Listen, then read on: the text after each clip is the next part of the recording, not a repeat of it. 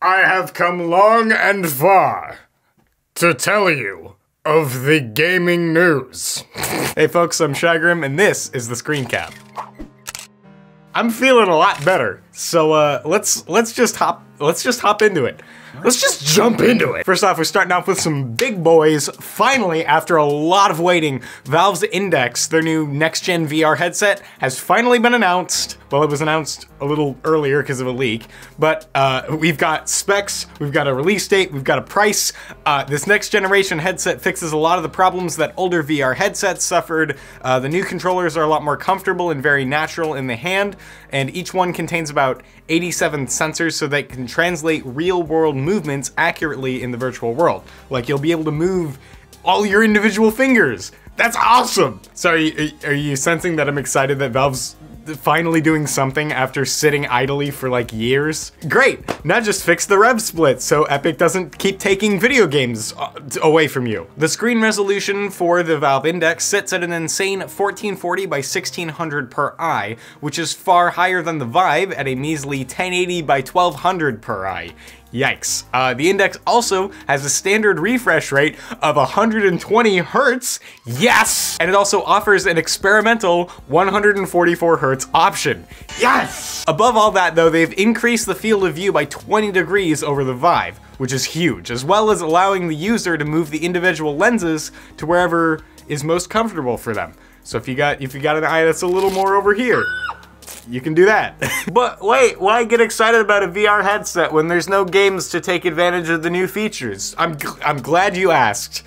Valve, come on. But something is in the works because to go along with their spicy new VR headset, Valve is releasing what they call a flagship VR game. We hope it's Half-Life VR, but we don't know. Since it's Valve we're talking about here, there is little info about what the game could be, uh, and when it will be released. Valve time and all. But considering the new headset is roughly $1,000, it better be worthwhile to showcase all the hardware's new capabilities. Uh, for the time, all we can really do is wait. It's like RTX all over again. What games are gonna support it? I don't know, it just works. It's magic. It just works. Everything just works. Everything just works. Normally I would have my partner in crime do this part, but since he's not here, I'm gonna do it myself. Oh, what's this? Oh, hey, breaking news. Oh, new Fortnite update today. Wow. Um, supposedly it's gonna have something to do with stealth. I don't know. Uh, download the patch and see it for yourself. Uh, it could be really big. Could be, could be a, a real big update. Uh, so get in there and and uh, get some get some victory royales for your boy. That's me. I'm your boy. Hey, hey, that's me. Oh no! More Riot Games drama. I don't know why I don't know why I'm dancing. This is horrible. I just don't really like League of Legends. well, let's get into it, I guess. A recent report on Riot Games being sued for gender discrimination. Uh, it seems like a number of employees are organizing a walkout to protest the company's unfair policies towards women. Uh, Riot Games was attempting to prevent its employees from suing the company by having its employees agree to an arbitration clause, basically giving them the precedent to do whatever they want without being scared of a lawsuit from employees uh, which is kind of scummy. After this information came to light, it seems that many Riot employees were not on board for that. The walkout is scheduled for May 6th, and the protesters say that they don't feel heard by Riot. The company will open up a dialogue on Monday to invite the rioters to join for a small group session. Oh my god, the rioters. Ah. Writers will be allowed to join a small group session that will allow them to talk about their concerns with the company. I just hope that Riot starts listening to their employees, you know, the people who, you know, make stuff for the company to, to continue functioning.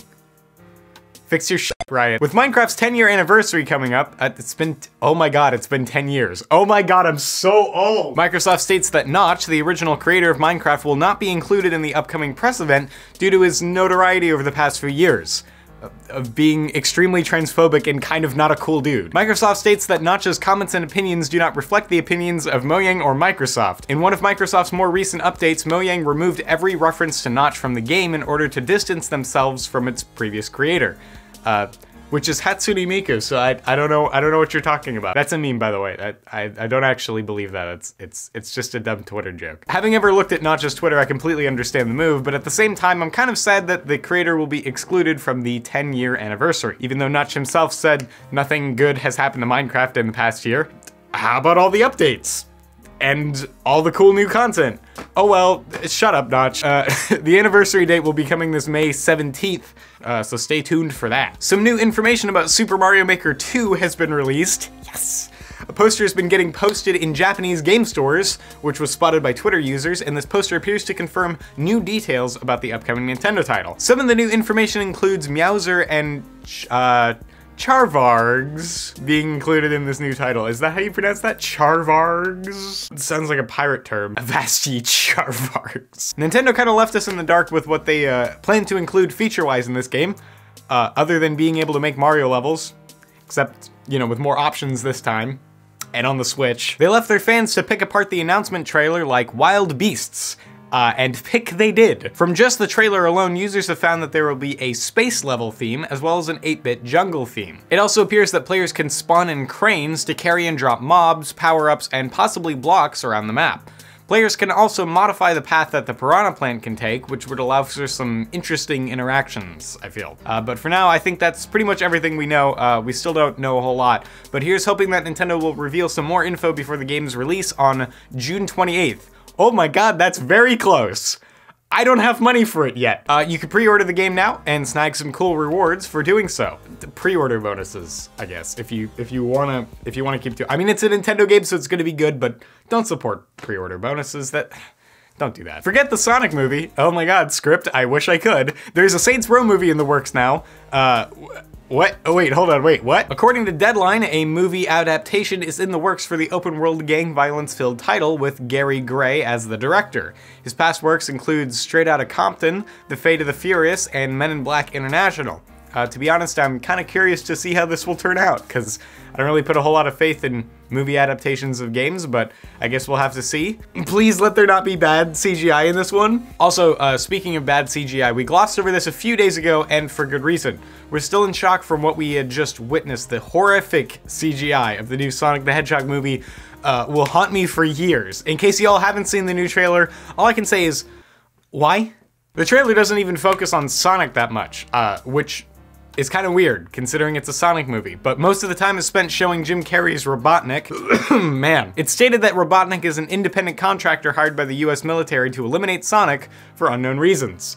Uh, what's most unknown to me is why does it have to be live action? This movie was shot directly in the Uncanny Valley and I, I don't I don't know what to do about it. Thank you so much for watching. Uh, this has been the Screencap every week, Tuesday, Thursday, Saturday. If you want to watch one of our previous videos, in fact, the one that uh, the one that I did about the, the Sonic movie the first time, it's gonna be on the top here, and uh, we'll have something else on the bottom. It's a mystery. Woo! A mystery!